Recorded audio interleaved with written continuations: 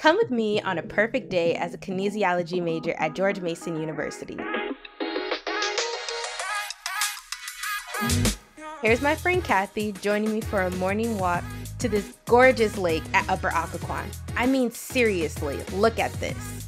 And you know, I had to grab my coffee before heading off to the Prince William campus to hit up my exercise physiology lab. Today, we're studying the difference in lactate levels in our blood pre and post workout. Here's our awesome lab instructor giving us the lowdown before Daniel hops on the bike as our first volunteer for today's demonstration. Oop, and here's me getting my finger pricked to get some baseline levels. Then they put me through the ringer, throwing the medicine balls, running around, getting my heart rate up. I mean, check out these numbers. The human body is so amazing. Next, I'm stopping off to visit one of my fabulous instructors during office hours. Hi, she's so cute. And that's it for class today. Bye bye, campus. Hello, study time. Another coffee isn't too much, right? Here I am getting my study on before once again hitting the road to my awesome job with Ortho Virginia. That's all for today. Bye!